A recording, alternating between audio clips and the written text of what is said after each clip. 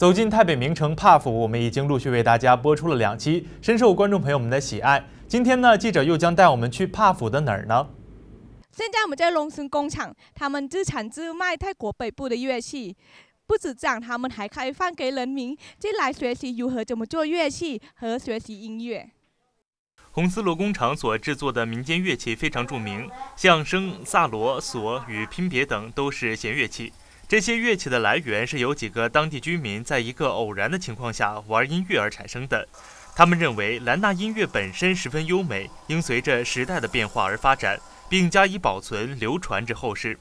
所有在红丝罗工厂制作的乐器皆以纯手工打造，大部分采用当地的材料打造，这样当地居民可以提供材料供应工厂，增加额外收入。当地居民主要以农业、养殖业为生。开设了红丝罗工厂后，使附近村庄的居民增加了工作机会。现在我们要访问的是他成立了龙ซึ่ง厂สุรศักดิ์先生ช่วยเล่าของความเป็นมาของลงซึ่งให้ฟังหน่อยค่ะฮงซึงหลวงจัดตั้งประมาณปี 2546 นะครับ โดยมีมีผู้สูงอายุหรือว่าผู้นำชุมชนต่างๆ ที่มารวมตัวกัน เพื่อทำกิจกรรมการถ่ายทอดดนตรีจาก ประสบการณ์ของผู้สูงอายุแล้วถ่ายทอดสู่เยาวชนรุ่นหลัง โดยใช้ดนตรีเนี่ยเป็นสื่อในการที่จะเชื่อมคนรวมตัวกันในชุมชน แล้วไปแสดงกิจกรรมต่างๆของ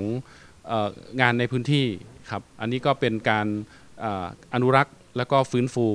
ของวัฒนธรรมท้องถิ่นด้านดนตรีไว้อีกรูปแบบหนึ่งครับ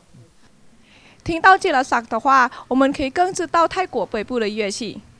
工厂也提供课程教导、乐器制作等。每当工厂举办群众开放交流活动参观时，相互交流相关知识或一教琴艺，因此这里是当地音乐爱好者聚集的中心。我们希望泰国北部的传统乐器能永传于世。来到龙森工厂，可以更了解很多泰国北部的乐器，但是呢，这一类的乐器越来越少看见了，但是他们还是坚持的要保护他们的文化。东盟卫视 MGTV 记者李明慈、张大威，泰国帕福报道。